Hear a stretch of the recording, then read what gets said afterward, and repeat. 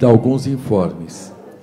É, a Academia de Medicina, a Academia de Medicina de São Paulo lamenta comunicar o falecimento ocorrido neste sábado, no dia 7, na cidade de Botucatu, da acadêmica titular Cleide Enoir Petean Trindade, pertencente à cadeira número 107, cujo patrono é Evaristo da Veiga. É um segundo informe em que encontram-se abertas uh, as oito vagas para membro titular e as inscrições estão abertas no período de 2 de março a 2 de abril eh, de 2020. Então, nós teremos oito vagas agora próximas. É, haverá um jantar no dia 18 de março, um jantar em comemoração aos 125 anos da Academia de Medicina, no restaurante Walter Mancini. É, a, nós pedimos a confirmação de presença, no sentido de fazer as reservas no restaurante. E no dia 25 de março, haverá a posse do membro titular, Paulo Augusto de Lima Pontes.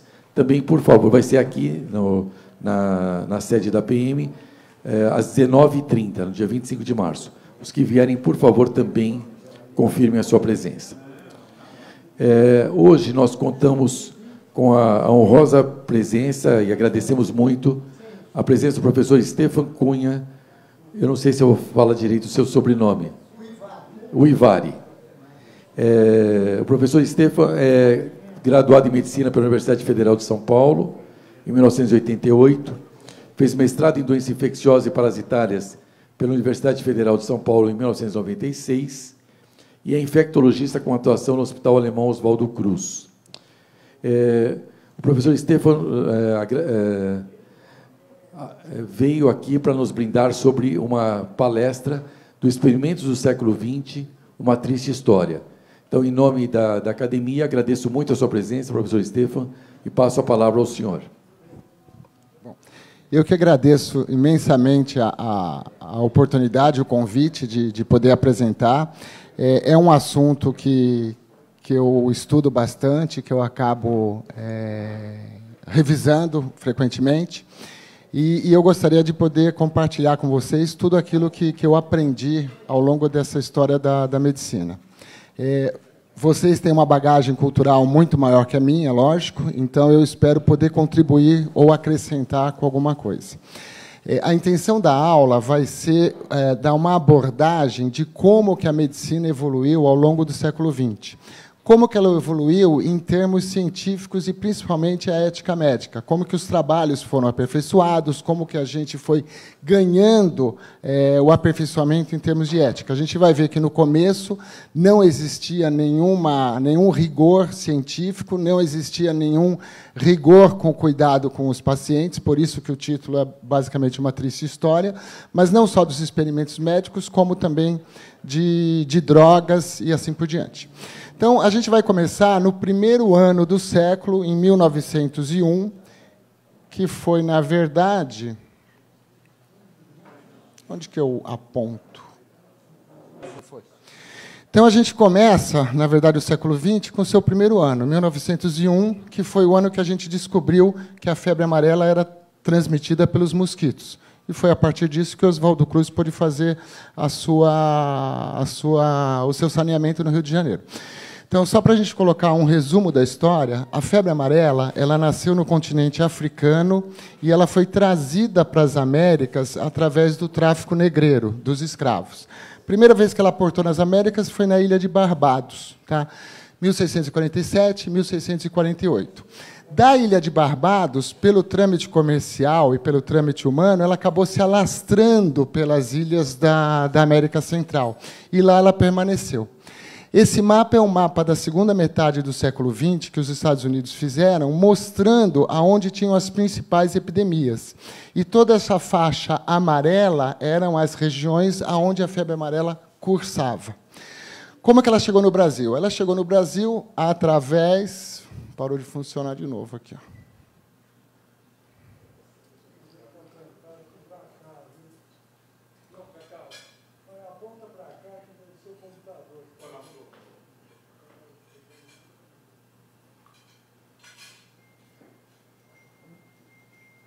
Aí. No Brasil, ela chegou com a descoberta de ouro na Califórnia, em 1848. Então, os americanos descobriram ouro na Califórnia e começou a ter aquela avalanche populacional em busca do ouro da Califórnia. O problema é que eles não conseguiam passar através das montanhas rochosas e do oeste dos Estados Unidos, que era onde a população indígena tinha sido rechaçada. Tinha duas possibilidades: ou eles saíam das embarcações e atravessavam o Panamá de costa a costa, que era uma região pantanosa.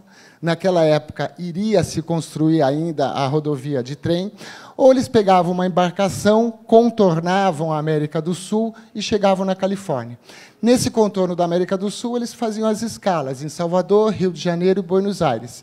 E foi assim que embarcações de Nova Orleans saíram dos Estados Unidos, fazendo escala em Salvador e no Rio de Janeiro. E foi assim que eles trouxeram a febre amarela para o nosso litoral. Já tinha tido uma epidemia muito efêmera em 1500 e alguma coisa, mas não tinha sido sustentada, ela já tinha sido eliminada. Mas nesse verão de 1849 para 1850 foi que a febre amarela chegou e aí sim, em todos os verões, nós tínhamos aquelas epidemias de febre amarela que coincidiam com o carnaval. Então, o carnaval era festivo, mas sempre com a sombra da morte pelas epidemias de febre amarela.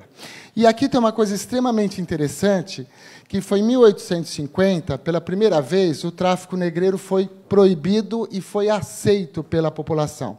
Porque até então, desde 1808, já tinha sido proibido o tráfico negreiro. Dom João VI acatou as normatizações da Inglaterra, que era o grande aliado, e tinha proibido. O problema é que nunca foi aceito e sempre existiu e todo mundo fazia vistas grossas. O que aconteceu em 1850? A chegada da febre amarela, o pânico que as embarcações negreiras traziam às doenças infecciosas e, principalmente, um castigo divino. Por quê? Porque a febre amarela acometeu a população branca. A população negra escrava, ela já tinha tido febre amarela no continente africano, então ela estava imune.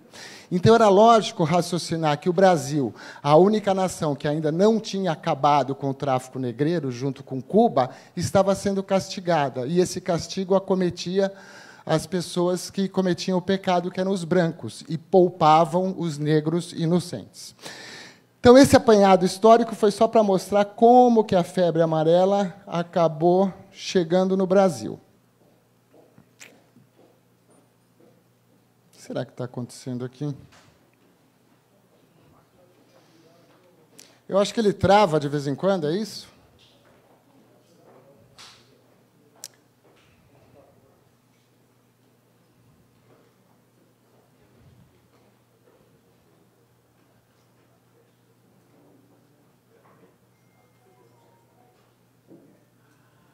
Bom, Nesse mesmo momento, no século XIX, os Estados Unidos começou a ter um avanço da conquista das ilhas do Pacífico. Então, uma boa parte das ilhas do Pacífico, que hoje é possessão americana, ela foi conquistada ao longo do século XIX. Por quê? Porque os Estados Unidos estavam atrás do famoso guano. O guano era a solidificação dos excrementos das aves marinhas que ao longo de séculos e milênios se solidificaram e eram ricos em material nitrogenado. Era usado como fertilizante. Numa época em que a gente não tinha a produção ainda do fertilizante. Ela ia aparecer em 1908 com Fritz Hader. E, na verdade, o maior produtor de guano era o Peru. O Peru era o maior produtor, mas a Inglaterra é que tinha o monopólio das importações de guano do Peru.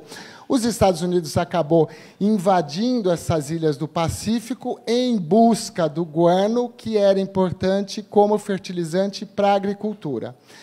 Não demorou muito para ele ter um choque com as possessões espanholas. E aí a gente teve a guerra entre os Estados Unidos e a Espanha. Ela começou nas Filipinas, que era a terra de Filipe, o Filipe, o rei espanhol, quando ele conquistou, e ela acabou se estendendo para o Caribe. Aí sim, os Estados Unidos acabaram invadindo a ilha de Cuba em 1898, com o pretexto que estava tendo um movimento de guerrilha pela independência de Cuba. Naquela época, os espanhóis faziam os campos de concentração, então eles arregimentavam a população nos campos de concentração para acabar com o movimento de guerrilha.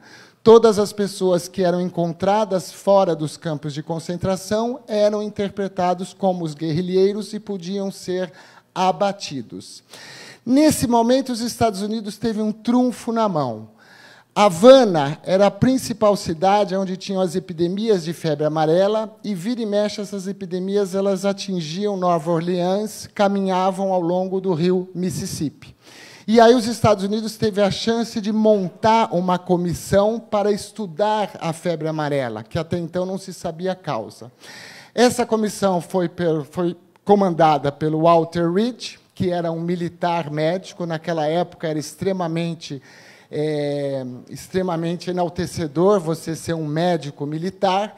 Ele montou uma equipe, conversou com o Finland, que era um médico cubano, que ele já tinha a teoria que a febre amarela poderia ser transmitida pelos mosquitos, porque ela acometia a população onde tinham as áreas pantanosas, com proliferação de mosquito, ela acometia principalmente as épocas da chuva, onde tinha proliferação do mosquito. E aqui sim a gente tem o primeiro grande trabalho científico, ainda sem o rigor de ética. Walter Reed construiu casebres de madeira, que a gente tem aqui exemplos dele, que a pessoa dormia nesse casebre durante dez dias e ela recebia lençóis, travesseiros, fronhas, colchões de pessoas que tinham morrido de febre amarela, porque ele queria saber se a doença era contagiosa por contato. De preferência, todo esse material, esses utensílios, eles deveriam ter restos de sangue, de urina e de fezes, que teoricamente expulsaria o vírus. Ele não teve nenhuma comprovação desse contato, e aí sim ele foi através da inoculação direta do mosquito. Então ele colocava em um tubo de ensaio o mosquito, o mosquito acabava fazendo o repasto da pessoa e ele acompanhava para ver se essa pessoa ficava doente. Foi assim que ele acabou comprovando que a doença, que a febre amarela era transmitida por mosquito. E ele apresentou no Congresso de 1901, primeiro ano do século XX, um Congresso Pan-Americano de Medicina. Só para a gente ter uma ideia, esse quadro é do Cornwell, um, um, pintor americano, de 1939. Então, um trabalho ainda sem o rigor de ética médica, aquela época, que era enaltecido. Você expor as pessoas a um risco muito grande de uma doença que matava um terço, por, um terço dos acometidos. Além desses trabalhos científicos que foram a tônica do século XX, a gente tem a exposição a drogas, a tratamentos que eram completamente isentos de qualquer trabalho científico. Então, a gente tem, por exemplo, a descoberta do raio-x por Roentgen, em 1895. O Roentgen era um físico e o que ele queria é ver se nas ampolas de raios catódicos existia vazamento. Então ele acabou cobrindo uma ampola de raio catódico, escureceu a sala, ligou a energia e tentou visualizar se tinha algum vazamento. Quando ele descobriu que começou a brilhar uma placa de bário na mesa do laboratório dele.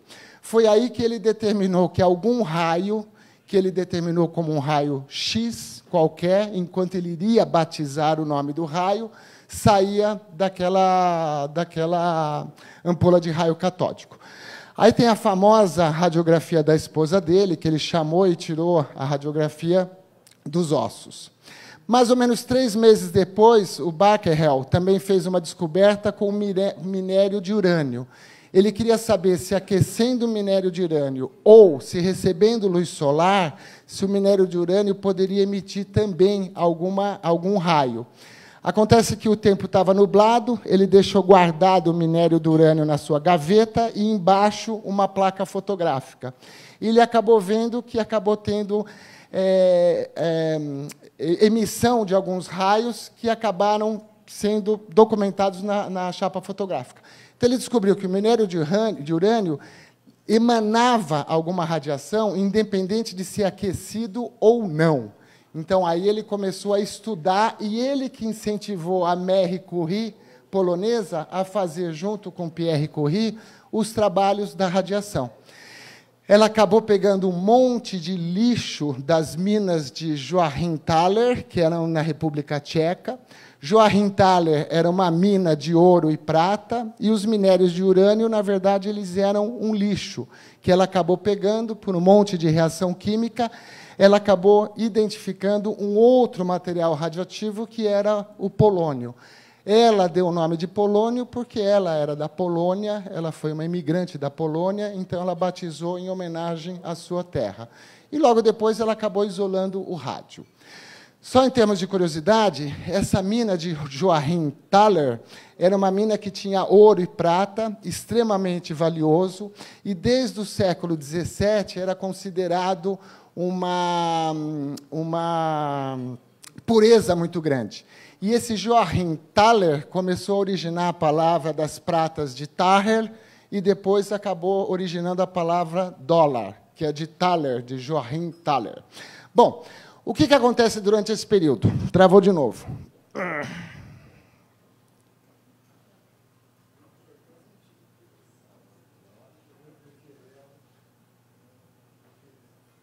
Obrigado que, que acontece nesse período? Nesse período, a gente tem uma exposição da população às radiações do raio-x, às radiações do polônio e do rádio, que o rádio era o maior material radioativo, e a gente não tem cuidado nenhum, porque não tinha nenhuma agência para monitorar ou para regulamentar isso.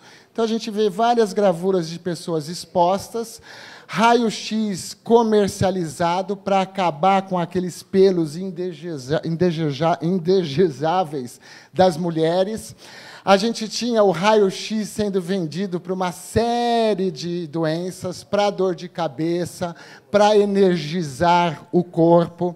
A gente tinha parques de diversões em que você acabava tirando uma radiografia do corpo todo e levando como recordação para casa.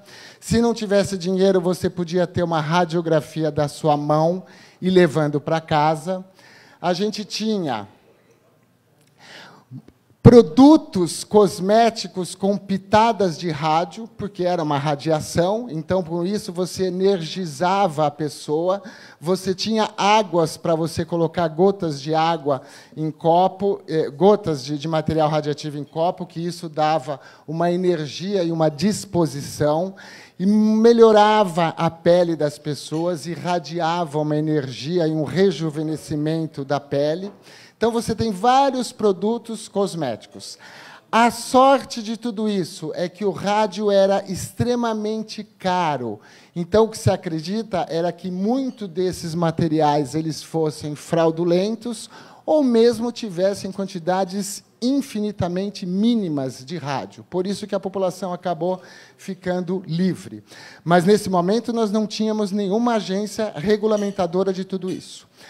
Um dos maiores escândalos foi conhecido como as garotas do rádio, da década de 1920, porque na Segunda Guerra o exército americano ele fez relógios cujos ponteiros apresentavam tintas com rádio. Com isso, os combatentes da Primeira Guerra eles poderiam ver a hora à noite, no escuro, para organizar os seus ataques, porque tinha a radiação dos ponteiros. E isso ficou uma moda nos Estados Unidos, depois de 1917. Então, você vendia é, relógios para as casas em que brilhavam à noite, ponteiros de relógios de pulso que brilhavam à noite, e isso era uma moda muito grande. As garotas de rádio foram as adolescentes que tinham como missão pintar esses mostradores. Então elas molhavam as cerdas dos pincéis na boca, mergulhavam na tinta e faziam a pintura. E novamente molhavam na língua. Com isso elas começaram a ter radioatividade nessa região e começaram a ter abscesso dentário, necrose de mandíbula, anemia. Foi um dentista dos Estados Unidos que começou a fazer a comparação dessa doença nas garotas do rádio.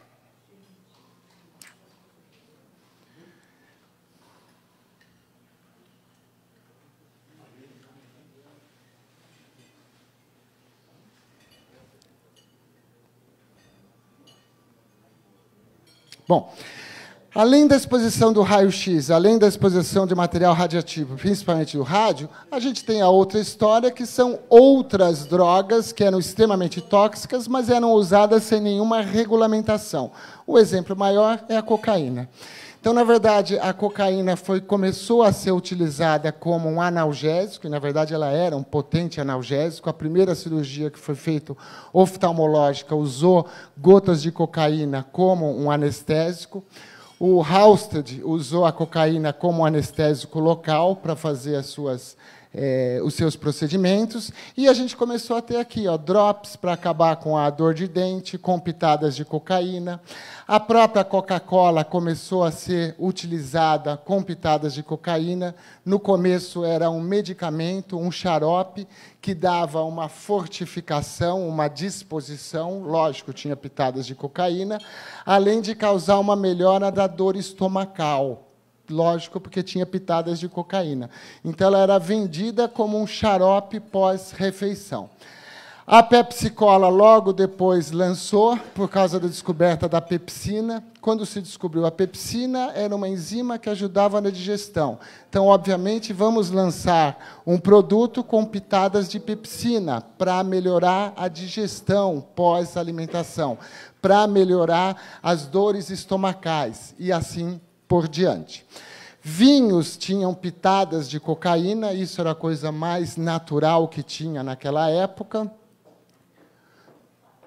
O Kellogg's, ele era um adventista do sétimo dia, em que ele era contra a ingesta de carnes, ele queria uma alimentação saudável no século XIX.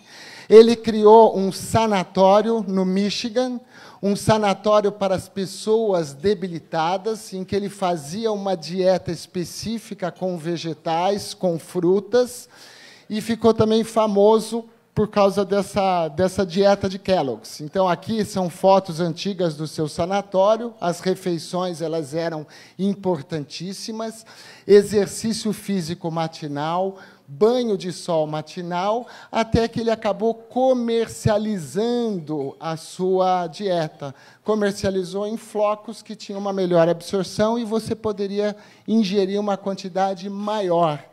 Então, ele no começo também foi aventado, lógico, essa foto é, é, posterior, mas a dieta de Kellogg's foi uma dieta saudável que melhorava a disposição e melhorava a saúde. E aí apareceram vários tônicos, tônicos contra a malária, tônicos contra a, a, fraqueza, tônicos contra a tuberculose, contra a queda de, de disposição. Então, era uma, uma quantidade muito grande de produtos, produtos que, logicamente, não funcionavam, produtos que eram vendidos e anunciados nas, nas revistas e nos jornais, sem nenhuma regulamentação. Só a título de curiosidade, todo mundo sabe que o Lister ele acabou é, desenvolvendo uma técnica de, de asepsia com o ácido fênico, em que ele colocava é, na, em cima das incisões, e no final do século XX acabou sendo lançada a Listerina, que era um antisséptico pronto de Lister, por isso que é Listerina, e ela começou a ser usada mais pelos dentistas. E hoje a gente tem a nossa Listerina como antisséptico bucal. Da mesma maneira que cigarros com pitadas de Listerine, que protegiam o pulmão das infecções, das afecções de uma maneira geral. Tudo isso acabou mudando com o Hopkins Adams, que era um jornalista que fez uma matéria investigativa que lançou numa revista de grande circulação mostrando que a maioria dos medicamentos eram medicamentos enganosos, eles simulavam a melhora, não tinha nenhuma evidência científica. Naquela época, a patente medicinal, você só precisava apresentar os ingredientes que tinham, não precisava mostrar nenhum trabalho que evidenciava nenhum benefício, e isso foi um escândalo nos Estados Unidos, que foi a grande fraude que no final acabou sendo um livro. Isso fez com que o governo americano tomasse medidas, e as medidas foi criar o FDA, o FDA. Então, o FDA foi criado em 1906, um ano depois dos, da, da matéria do, do, do Adams, denunciando tudo isso. Então, a partir de agora, o governo iria monitorar a, os medicamentos ou os tônicos ou tudo que prometia é, um benefício. Nessa mesma época, o Sinclair também era um jornalista. Ele escreveu um romance mostrando como que os trabalhadores de Chicago sofriam através da manipulação da carne, como que era o regime de trabalho deles, como que eles trabalhavam de uma maneira insalubre, como que eles eram mal alimentados, como que eles eram é, mal remunerados. Só que teve um outro lado dessa história. A população ficou muito mais indignada como você tinha, como tinha uma falta de higiene na manipulação dos alimentos. Então ficou um pânico dos alimentos serem mal é, é, é, preparados, contaminados e assim por diante. Então, o FDA também alavancou e ampliou o seu braço, não só para as drogas, como também para os alimentos de uma maneira geral. Então, a gente vê que, ao longo do século XX, a gente começou a ganhar cada vez mais conscientização de tudo isso. Bom, um outro dado importante no começo do século XX foi a famosa eugenia, se acreditar que existia uma raça superior e uma raça inferior. Na verdade, o movimento da eugenia já tinha começado no século XIX. Então, existia um médico na Filadélfia, que era o Morton, um médico extremamente conceituado, que ele fez as maiores coleções de crânio humano do planeta até então, isso antes de meados dos anos 1800, na primeira metade do século XIX. E ele acabou arregimentando uma quantidade de, grande de crânios de asiáticos, de africanos e assim por diante, e ele quis comprovar a teoria da raça superior. Então, ele enchia esses crânios com sementes de girassol ou com bolas de chumbo. E ele acabava quantificando. E ele encontrou o que realmente ele queria. Volume maior de crânio existia na população branca, na população nórdica, na população inglesa, na população americana. E volumes menores apareciam nos indígenas, nos asiáticos, nos judeus, nos povos do Mediterrâneo e nos negros. Então, ele levantou a possibilidade de uma raça superior. Todo mundo conhece os trabalhos de Lombroso, também da Itália, que ele acreditava que as medidas do segmento cefálico e corporal também pudessem predizer que aquele paciente era voltado para uma raça inferior, para a criminalidade. E só por curiosidade, em 1938, quando Lampião e Maria Bonita foram é, mortos, a cabeça foi decepada e ela veio do interior em galões de óleo ou alguma substância que eu não lembro para tentar conservar, porque eles trouxeram para o litoral, foi para a Universidade da Bahia e lá foi feita as medidas todas para ver se ele tinha alguma característica dos postulados de Lombroso. Então sempre existiu isso, sempre existiu essa teoria de raça superior e raça inferior. Mas quem principalmente alavancou isso foi o Galton. O Galton era um londrino, primo do Darwin, portanto, ele foi contaminado com as teorias do Darwin. Se existia uma evolução dos animais para os homens, por que não teria existido uma evolução intra-humanos, de raças inferiores para raças superiores? Então, essa foi a teoria do Galton. O Galton lançou essa teoria. Ele foi abraçado pelos economistas londrinos, porque naquela época Londres estava começando a perder terreno do comércio, os Estados Unidos estavam sendo uma próxima potência, a Alemanha com a sua química também estava ascendendo, e os economistas eles acabaram abraçando a teoria do Galton. Por quê? Porque o Galton falava que uma nação, para ela enriquecer e ter sucesso, ela precisa ter uma população de raças superiores. E ela tem que tentar diminuir aquela população de raças inferiores. E raça inferior era a pessoa voltada para a criminalidade, para a preguiça, para as doenças, para alcoolismo e assim por diante. Então, ele queria uma eugenia positiva, ou seja, incentivar o casamento entre raças superiores para você, ao longo do tempo, abolir as raças inferiores. O Brasil também fez isso, era chamada embranquecimento da raça. Estimular casamento entre brancos ou brancos e mulatos para você progredir para um embranquecimento da raça ao longo das décadas futuras. Então, o Galton ele foi extremamente famoso, os trabalhos dele tiveram várias repercussões na Europa, e a Europa começou a ter um movimento muito grande da eugenia para as raças superiores, que somente assim uma nação teria sucesso. Aqui, por curiosidade, é o cérebro, o famoso cérebro do paciente de Broca, quando o Broca atendeu esse paciente, ele tinha uma afasia, porque ele tinha tido um quadro isquêmico exatamente no giro de Broca. Esse paciente, na sua afasia, só falava tan, tan, tan. Daí que vem a denominação que muitos acreditavam que ele era louco, então ele era um paciente tantã. Daí que a gente tem essa ideia aí passada de, de falar tantã. Ah, fulano é um tantã, e assim por diante. E o Broca foi um grande adepto da eugenia. Por quê? Porque ele acabou comprovando que tinha um giro específico da fala.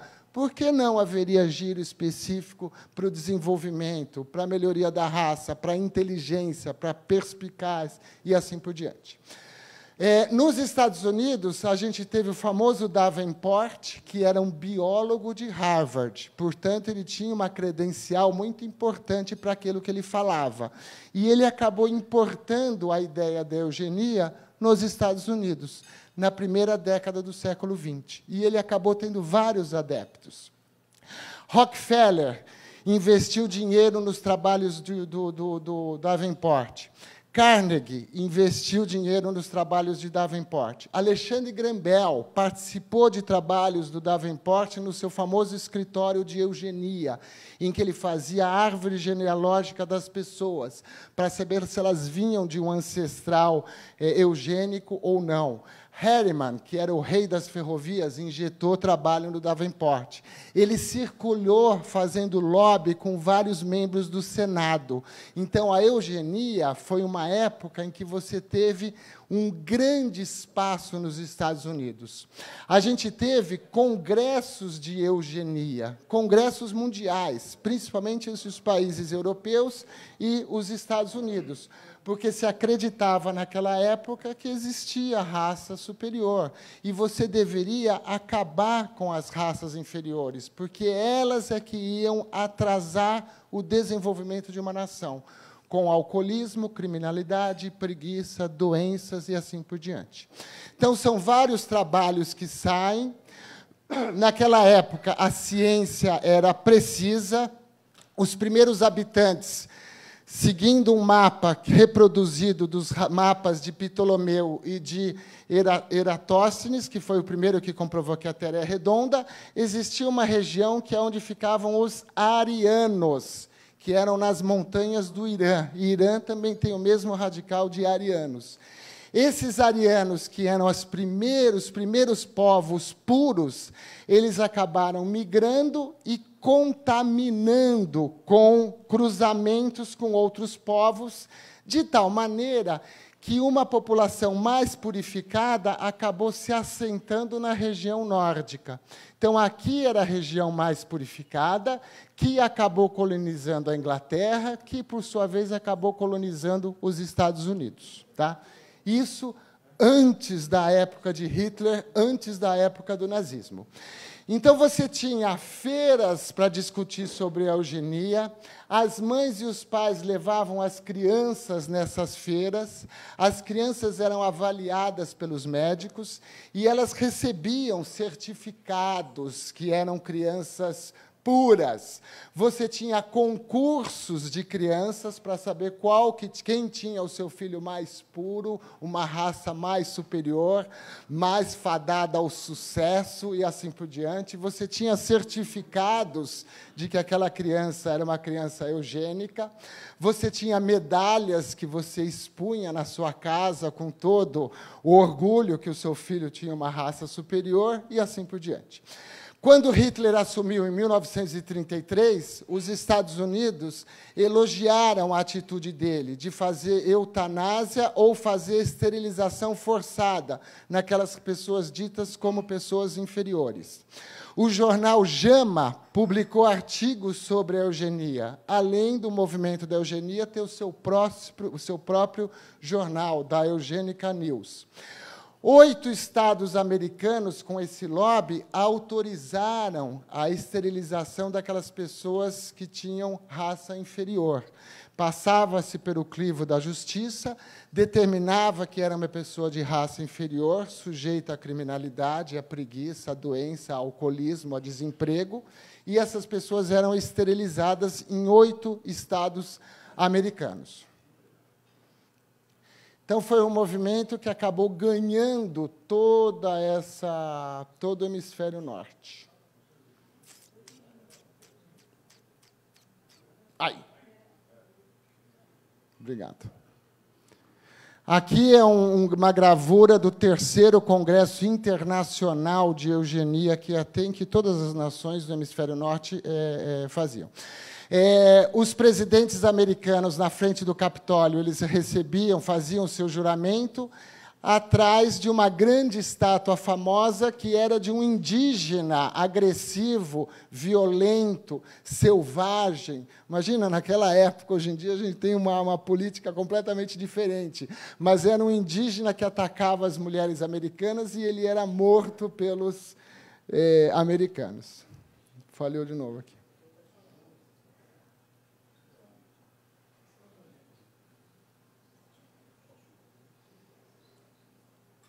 Bom, dentro desse movimento da eugenia, a gente tem o famoso trabalho de Tuskegee, eu sempre troco esse nome, de Tuskegee.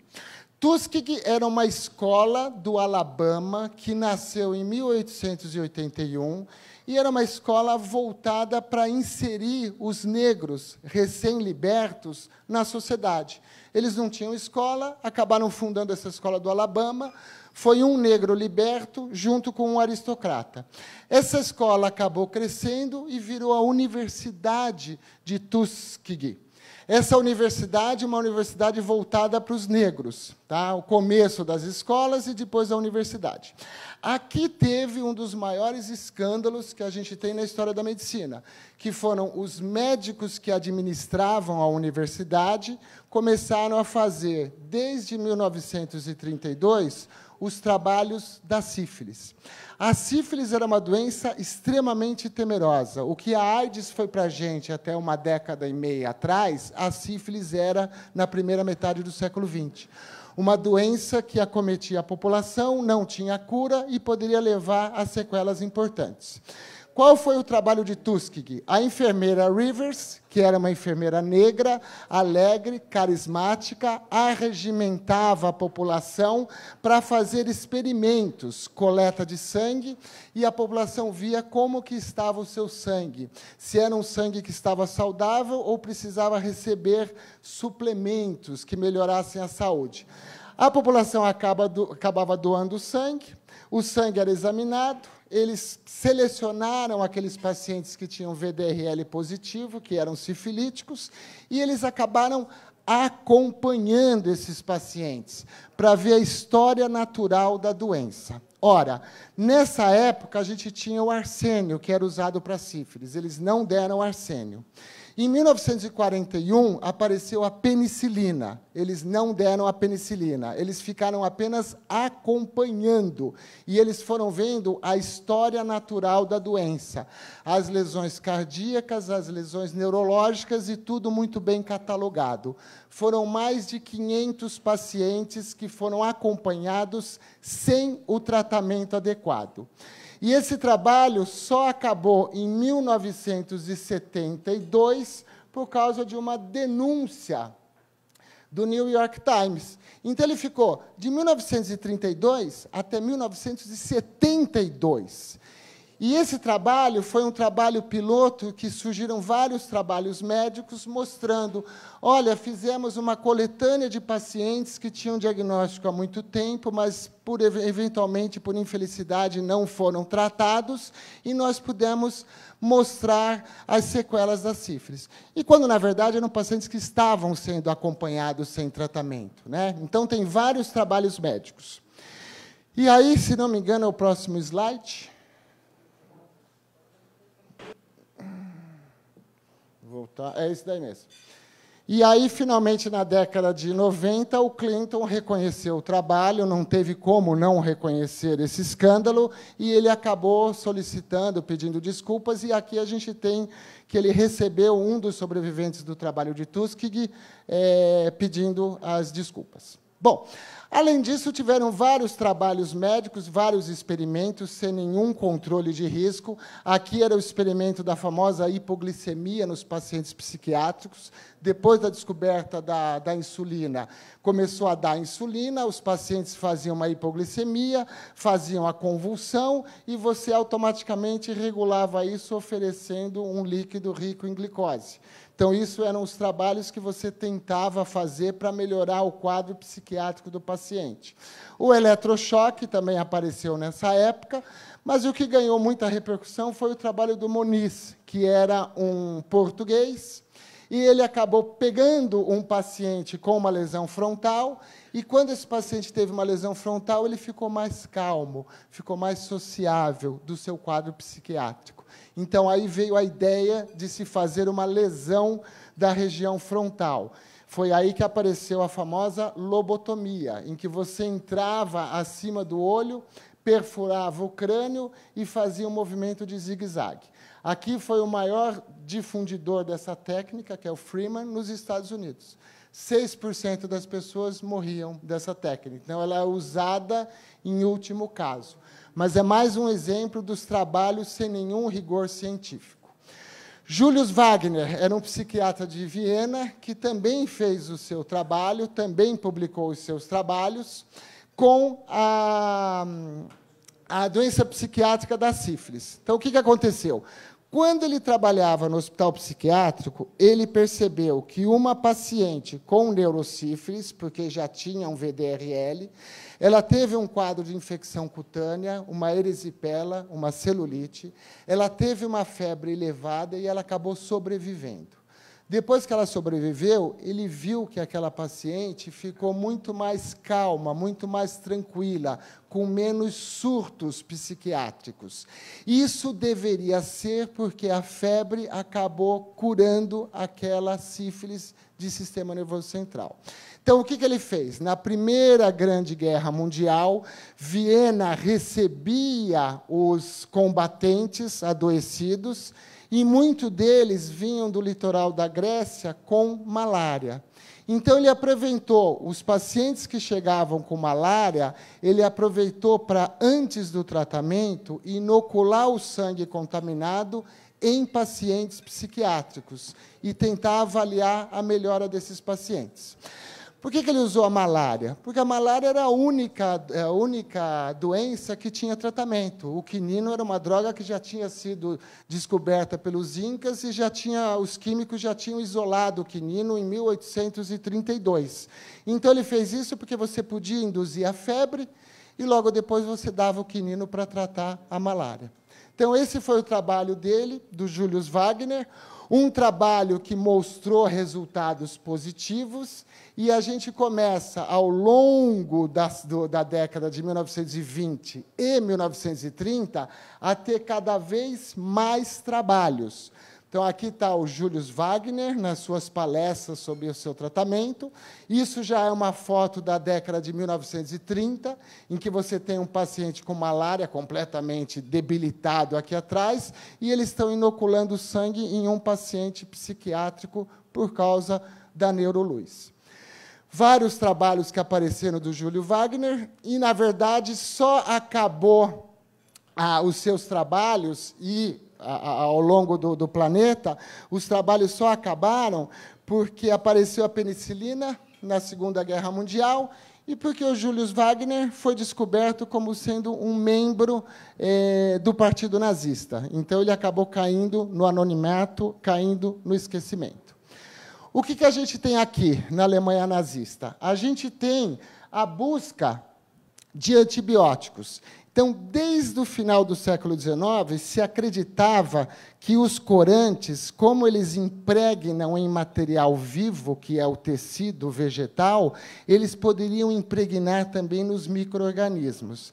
Então, sempre eles tentaram, através dos corantes, encontrar uma droga que aniquilasse os micro-organismos, que era a famosa bala mágica que eles procuraram. Durante a Alemanha nazista, foi determinado que a IG Farben, que era o maior conglomerado industrial, mandasse para um médico, que é o Domecq, todos os componentes que tinham descobertos de corante. E aí sim que o Domecq acabou testando o Prontocil, que era um corante novo, vermelho, e ele viu que esses corantes acabaram diminuindo a proliferação bacteriana. Então a gente acabava descobrindo, pode ser aí mesmo, a gente acabava descobrindo o Prontocil, que era a primeira droga que combatia uma doença infecciosa. Depois foi descoberto que o Prontocil, na verdade, era uma associação de moléculas que, quando quebrada, produzia a sulfanilamida. Então, apareceu a sulfa, que era a primeira droga potente contra os micro-organismos. E aí apareceram os trabalhos e os tratamentos com a sulfa. Aqui a gente tem um outro, um outro ponto importante. Quando a sulfa foi lançada em forma de comprimido ou pó, as crianças não tinham condição de tomar. Então, o que aconteceu? Uma indústria farmacêutica dos Estados Unidos acabou transformando essa sulfa em xarope. O que, que ela usou no xarope? Dietileno glicol, a mesma molécula que a gente acabou de ver das mortes da cerveja Baker. Então, o dietileno glicol foi a molécula que eles usaram, ah, o líquido que eles usaram viscoso para fazer o xarope. Por quê? Porque o FDA não tinha autonomia, era como se fosse um, um órgão é, fantoche. O que, que aconteceu? Um número grande de crianças, 107 crianças morreram com aquela corrida pela sulfa, porque era o primeiro antibiótico que tratava a streptococcemia. Foi investigado e chegaram à conclusão que era o dietileno glicol. Isso foi um divisor de águas, porque a partir desse momento, em 1938, o FDA ganhou autonomia e ele começou a reger todas as drogas que apareciam no mercado. Não mais Senado, nem mais nada, é só o FDA. Então, ele é essa potência atual por causa do grande acidente do dietileno glicol, numa época em que a gente não tinha nenhum rigor para colocar os produtos no mercado. Aqui a gente tem o famoso, é, o famoso projeto de Liebesbar, que era da Alemanha nazista. Então, o projeto era o seguinte: os alemães do Reich, eles pegavam as adolescentes que já tinham aquela lavagem cerebral, porque elas iam é, auxiliar o Reich a ser a maior potência mundial, a ser aquele império de mil anos. Elas iam para regiões afastadas, tomavam uma dieta e líquidos saudáveis, faziam exercícios todos os dias e à noite tinham relações sexuais com membros da SS, que eram aquelas pessoas já é, puras, aquelas pessoas evoluídas. Elas tinham essas relações sexuais, elas engravidavam, e os filhos dela eram dados para o Estado, e os filhos acabavam indo para famílias, com o argumento que os pais morreram durante a guerra e uma família nova ia criar. Então, esse projeto era para você aumentar a proliferação das pessoas eugênicas. Essas meninas, elas voltavam para sua casa com certificados que elas tinham sido avaliadas e elas eram pessoas de raças superiores e assim por diante. Até hoje, os filhos de Liebesborn se encontram na Alemanha. Então, são pessoas hoje com 80 anos, 70 e poucos anos, que são pessoas que montaram uma, uma organização. Então, aqui são todas essas casas no meio da área rural. E a população rural acreditava que eram prostíbulos, porque moravam jovens que recebiam à noite vários membros da SS e assim por diante. Aqui é o diretor da Faculdade de Medicina de Viena, em 1938, fazendo o seu primeiro discurso, numa época que a Áustria já estava anexada ao regime nazista. Aqui o interessante, que eu só coloquei aqui porque é um livro que eu acabei de ver, que é As Crianças de Asperger. Então, na verdade, a gente tem esse instituto, que é um instituto para doentes mentais, da região de Viena, afastado da, da cidade. Aqui você recebiam as pessoas e as crianças. Aqui eles escolhiam aquelas crianças que eram crianças eugênicas, aquelas crianças debilitadas que não tinham, não preenchiam as características de, de, de eugenia, eles iam para o pavilhão Spiegelground, que é por aqui, e nesse pavilhão de Spiegelground, elas tinham a eutanásia. A eutanásia eram crianças que eram deixadas sem alimentação, sem ingesta de líquidos, elas definhavam e elas morriam. Foram quase 800 crianças. E o interessante desse livro, As Crianças de Asperger, é que o Asperger era um dos médicos que ele fazia a avaliação das crianças que recebia nesse instituto, que é Steinhoff, o nome de todo esse instituto, e ele, na medida em que ele descartava uma criança, ele tinha consciência que essa criança ia para o pavilhão de Spiegelground, e essa criança iria ser submetida à, à eutanásia. Então, esse livro conta a história do Asperger. E foi aí que ele começou a perceber a característica de algumas crianças que tinham a característica de autismo, e foi aí que ele descreveu a doença do autismo. Então, é mais um dos cientistas de vários outros que participaram do regime nazista. Bom, durante essa dessa época, a gente teve um outro experimento importante que é menos conhecido do que todos os experimentos da Alemanha nazista, que é a famosa unidade 731. Eh, Quando o Japão invadiu a Manchúria, ele criou um estudo científico de guerra bacteriológica. Então, o Japão acabou comandando naquela área ocupada chinesa, que até hoje é uma briga monstruosa entre a China e o Japão. Faltou aqui de novo. Até hoje é uma área, até hoje é uma, é uma, uma briga monstruosa.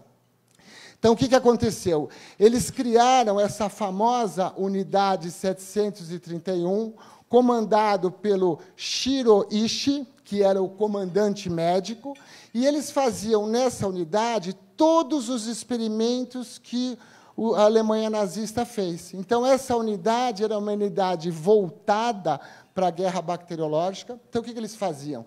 Eles eliminavam bactéria da cólera em caixa, em, em reservatório d'água para ver a disseminação em uma cidade chinesa. Eles pegavam aquela população e faziam inoculação direta de agentes infecciosos para ver como que era que evoluía a doença, a história natural da doença. Eles faziam uma guerra química, a gente tem pouco registro, porque a maioria dos registros foram destruídos.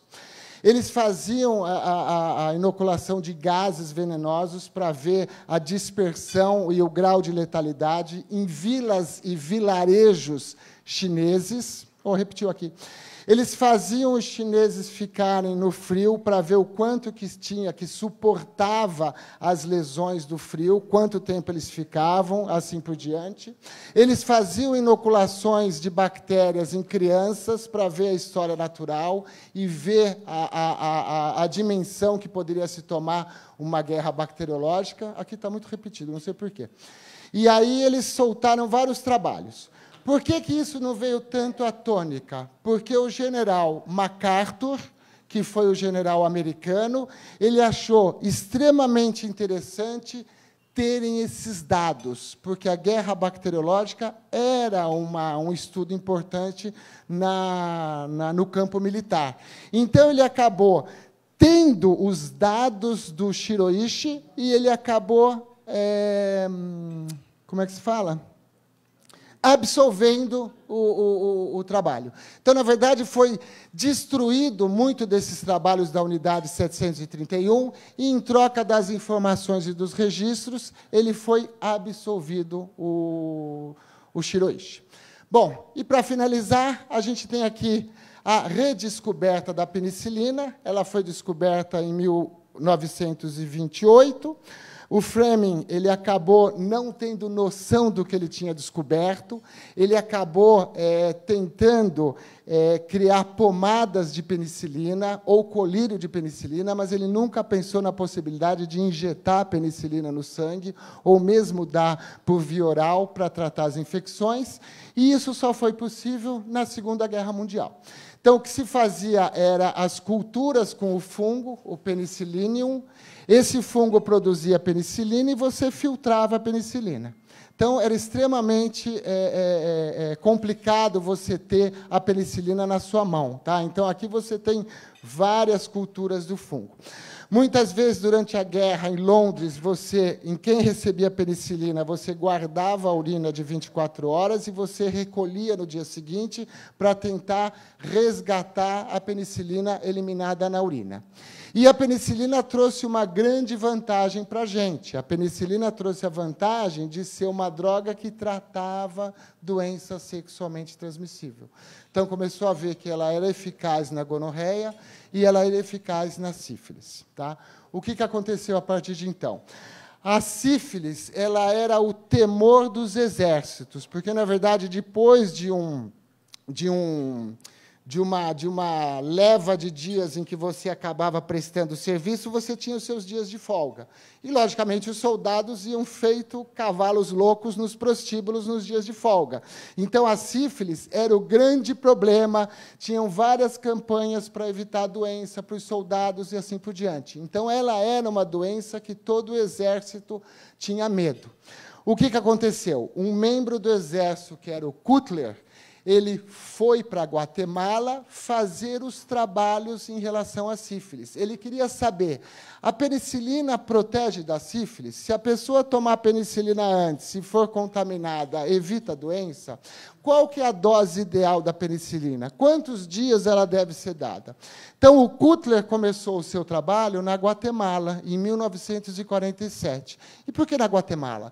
Porque naquela época era muito comum os médicos das nações da América Latina fazerem os trabalhos, fazerem os estágios nos Estados Unidos. E o Cutler era o responsável pelo setor de doenças sexualmente transmissíveis, que na era era chamada de doenças venéreas, e o ministro da Saúde da Guatemala tinha contato com o Cutler. Então, ele entrou em contato com o ministro e ele aceitou o trabalho. Qual que era o trabalho?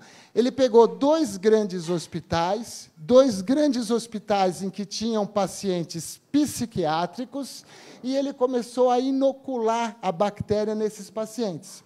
Então, ele dava é, líquido contaminado com a bactéria ou com excrementos para ver se existia transmissão oral. Ele fazia escarificações para ver se a pessoa se infectava. Ele escarificava o pênis de, de, de, dos homens para ver se tinham poder. Ou ele embebia algodão nas bactérias e colocava lá para ver se sem lesão tinha absorção e provocava doença, positivava o VDRL. E, ao mesmo tempo, ele dava penicilina em doses variadas ou profiláticas. Então, esse foi o trabalho do Cutler na Guatemala. Essas fotos são registros do trabalho que vieram à tona e começou a ter o inquérito todo de, de, de, experimento humano na Guatemala. Então, tudo isso daqui são registros do processo americano.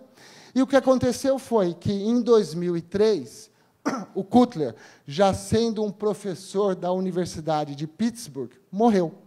E o que, que aconteceu? Foram limpar o escritório dele. Quando limparam o escritório, encontraram vários registros mostrando idades de pacientes, doses de penicilina, penicilinas prévias, administração de bactérias.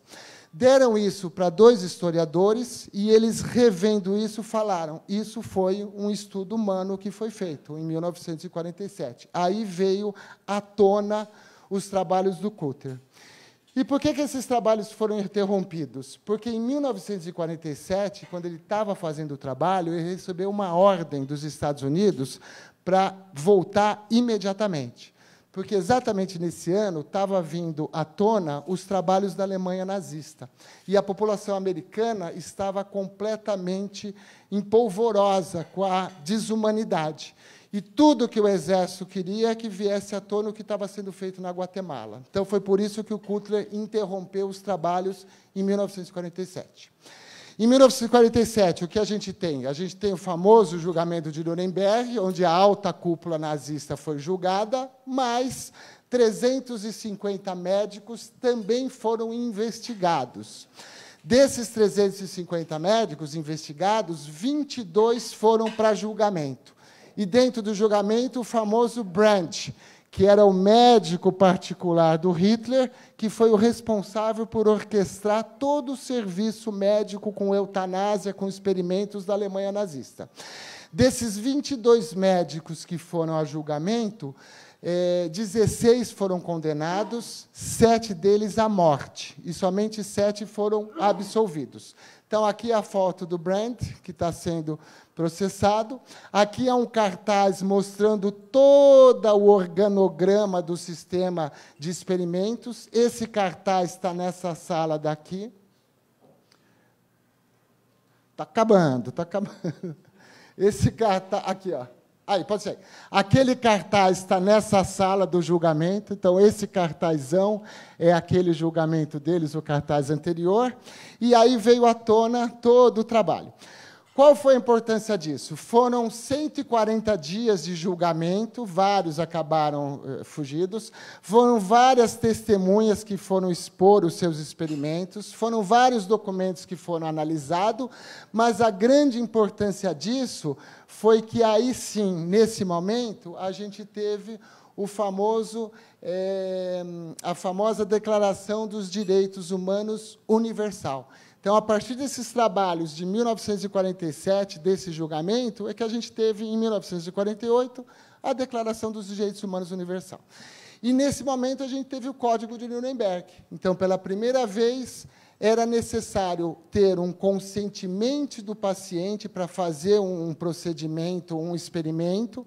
Pela primeira vez, você tinha que pesar o risco e benefício, você não poderia fazer um trabalho em que gerasse um malefício para aquele paciente, e pessoas qualificadas teriam que fazer os experimentos humanos. Então, começou a nascer a ética médica nos trabalhos científicos, tá? nessa época. Depois acabou tendo o encontro de Helsinki, que acabou é, melhorando e assim por diante. E eu queria só mostrar um trabalho só para finalizar, está acabando, tá, pessoal? Mais para baixo. Vai, pode ser aqui. Só para mostrar o trabalho do Krugman. Krugman era um pediatra que ele comandava o famoso Instituto de Willowbrook, que era um instituto para as crianças com deficiência mental. O Estado tinha que arcar com isso e a população lutava por uma vaga, que não tinha vaga nesses institutos. O Willowbrook nasceu em 1947, tinha capacidade para 4 mil pessoas, mas no auge ele tinha 6 mil pessoas era uma casa do terror em que as crianças ficavam aglomeradas, com sem higiene, se evacuando e assim por diante. Então reinava a hepatite A assim que as crianças chegavam. Então o Kurgman foi importante porque ele fez um trabalho com a gama globulina. Só que era assim, dentro daquele código do Nuremberg, não precisava ter o consentimento escrito, era só verbal. Depois é que teve o consentimento escrito. Então, na década de 50, ele falava para as mães que poderiam entrar na vaga, mas você teria que fazer o estudo dele, de dar gama globulina para evitar a hepatite A, a epidemia de hepatite A. Além disso, você fazia uma chantagem, porque tudo que a população queria era uma vaga em Willowbrook. E, na verdade, ele falava que se você não fizer esse tratamento, vai expor a hepatite A e, com isso, não vai poder entrar no, no, no, na instituição. Então, esse foi o grande erro de Krugman, e por isso que ele foi abertamente massacrado pelo estudo dele, em que ele forçou a população a aceitar o estudo. Depois disso, novamente teve uma melhoria no termo de consentimento. Você teria que ser um termo de consentimento por escrito e a população e a pessoa não poderia ter nenhuma desvantagem em não participar desse estudo. E a partir de então a gente teve vários encontros em 64 de Helsing e aí a gente acabou melhorando até os dias atuais aí esse rigor todo dos conselhos de ética, bioética e assim por diante. Então, o que eu quis mostrar aqui foi o avanço dos trabalhos científicos, como que foi passo a passo, e, ao mesmo tempo, como que a gente foi acabando com essa leva de medicamentos ou drogas ou substâncias tóxicas, tóxicas sem nenhum rigor é, científico. Né? É isso que eu queria pôr para vocês, e se alguém tiver alguma dúvida, que eu possa ajudar.